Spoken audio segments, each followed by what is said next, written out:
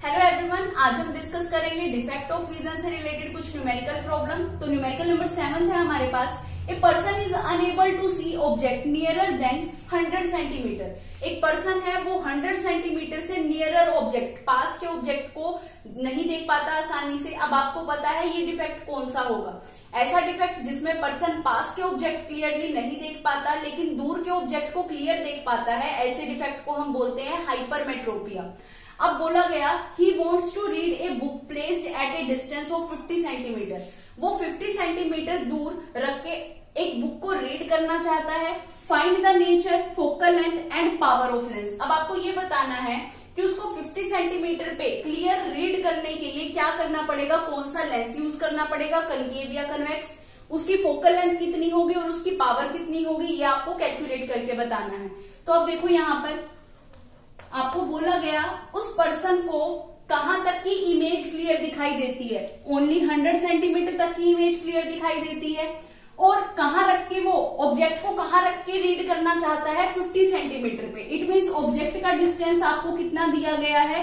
50 centimetre और उसको कहाँ तक के ऑब्जेक्ट क्लियर दिखाई देते हैं? ओनली 100 सेंटीमीटर से बियॉन्ड के ऑब्जेक्ट क्लियर दिखाई देते हैं। इट मीन्स इमेज का डिस्टेंस आपके पास कितना होगा? 100 सेंटीमीटर होगा। अब देखो यहाँ पर। साइन कन्वेंशन यूज़ करते हैं, ऑब्जेक्ट हमेशा कहाँ पे रखा जाता है? लेंस के लेफ़्ट साइड में रखा जाता है। और लेंस के लेफ़्ट साइड के सारे डिस्टेंसेस क्या होते हैं? नेगेटिव होते हैं, इसलिए यू की वैल्यू को क्या लेकर चलोगे? नेगेटिव लेकर चलोगे। इमेज का डिस्टेंस, रियल और इन्वर्टेड इमेज बनती है हमेशा हमारी आईज के अंदर, क्योंकि हमारी आईज के अंदर कन्वेक्स लेंस होता है और कन्वेक्स लेंस हमेशा रियल और इन्वर्टेड इमेज बनाता है। तो v की वैल्यू रियल और इन्वर्टेड इमेज के लिए हम नेगेटिव साइन यूज़ करते हैं तो v की वैल्यू आपके पास कितनी आएगी? नेगेटिव आएगी। तो अब देखो फोकल लेंथ क्या, कैसे कैलकुलेट करेंगे? सबसे पहले आपको फोकल लेंथ कैलकुलेट करनी पड़ेगी, क्योंकि पावर निकालने के लिए आपको फोकल लेंथ चाहिए। फोकल लेंथ कैलकुलेट करने के लिए लेंस फॉर्मूला यूज़ करते हैं। लेंस फॉर्मूला होता है one by F is equal to one by V minus one by U values को यहाँ पे पुट करेंगे तो v की वैल्यू आपके पास कितनी है? हंड्रेड माइनस यू की वैल्यू आपके पास कितनी है? Minus fifty. सोल्व करते हैं इसको। तो one by F, hundred LCM लिया आपने। यहाँ पे वैल्यू कितनी आई? Minus one, minus minus plus. यहाँ पे वैल्यू कितनी आई? टू। तो देखो, one by F is equal to one divided by hundred. तो एफ़ की वैल्यू आपके पास कितनी आ गई? Hundred centimetre. अब आपको पता है जब हम पावर ऑफ़ लेंस यूज़ करते हैं तो फोकल लेंथ को किसमें लेकर चलते हैं? हमेशा मीटर में लेकर चलते हैं तो इसको हंड्रेड से डिवाइड करे, करेंगे और इसको मीटर में कन्वर्ट कर लेंगे। इसको हंड्रेड से डिवाइड करोगे तो आपके पास फोकल लेंथ कितनी आ जाएगी?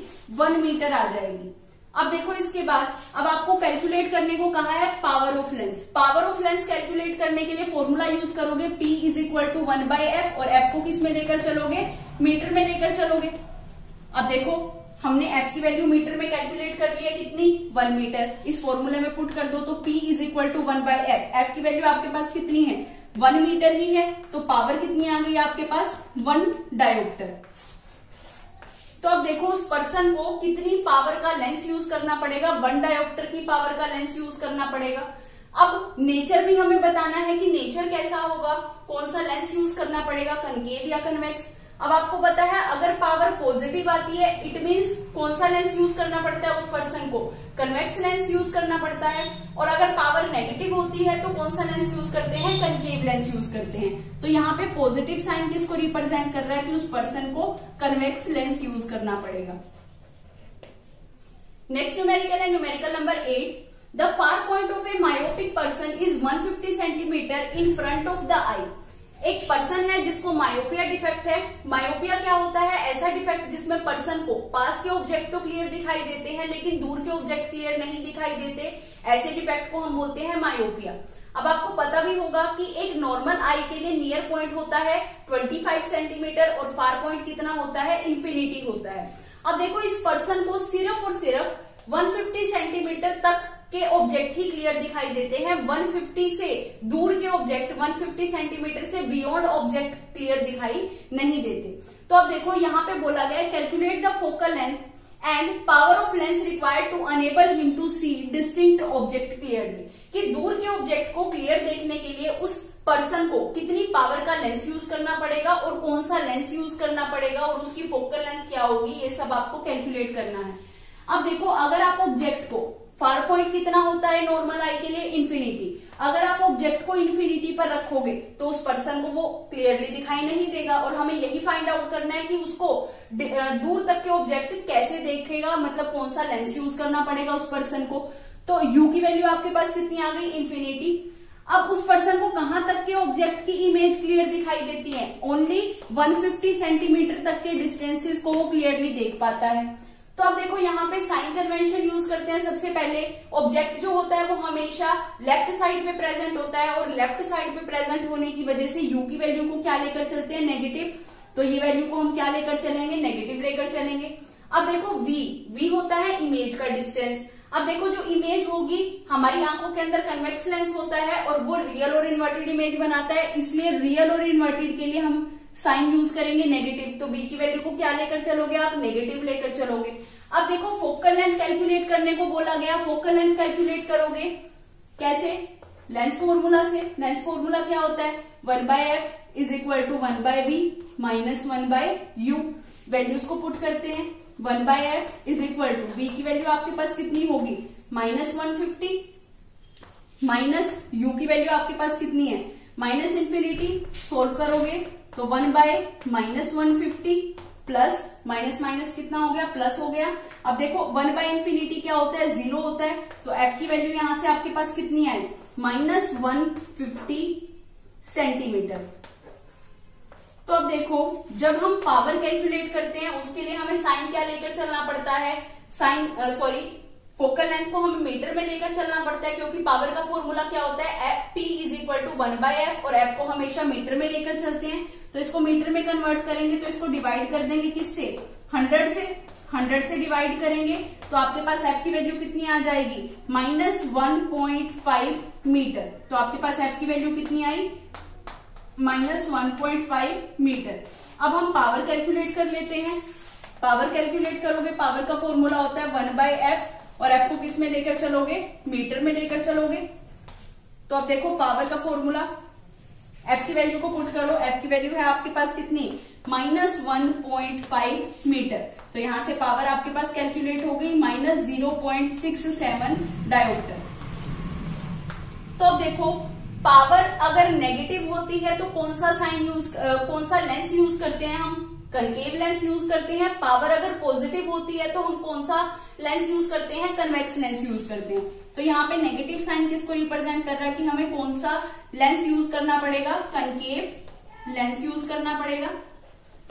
अब ये आप थ्योरी में भी पढ़ चुके हैं कि मायोपिया ऐसा डिफेक्ट जिसमें पर्सन को पास के ऑब्जेक्ट तो क्लियर दिखाई देते हैं, लेकिन दूर के ऑब्जेक्ट क्लियर नहीं दिखाई देते।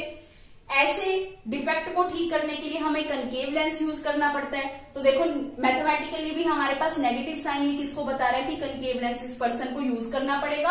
और पावर कितनी होनी चाहिए? Minus zero point six seven dioptre और फोकल लेंथ भी हमने कैलकुलेट कर ली कितनी? Minus one point five metre अब हम डिस्कस करते हैं NCERT textual question question number first है हमारे पास what do you mean by the power of accommodation of the eye अब पावर ऑफ़ अकोमोडेशन क्या होता है? जो हमारी आई है, उसमें जो सिलेरी मसल्स होती हैं, वो क्या करती हैं? फोकल लेंथ को एडजस्ट करने का काम करती हैं।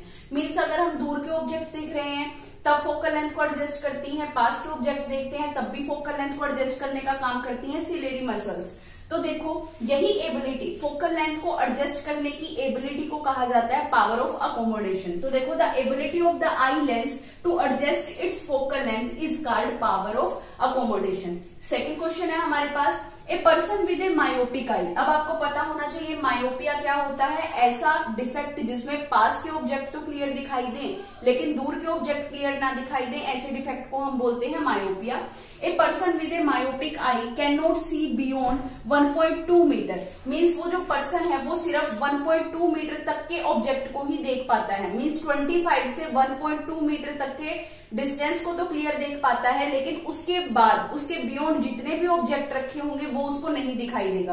क्योंकि ऐसे डिफेक्ट में दूर के ऑब्जेक्ट क्लियर दिखाई नहीं देते। इट मीन्स 1.2 मीटर से इंफिनिटी के बीच रखे हुए कोई भी ऑब्जेक्ट इस पर्सन को क्लियर दिखाई नहीं देंगे।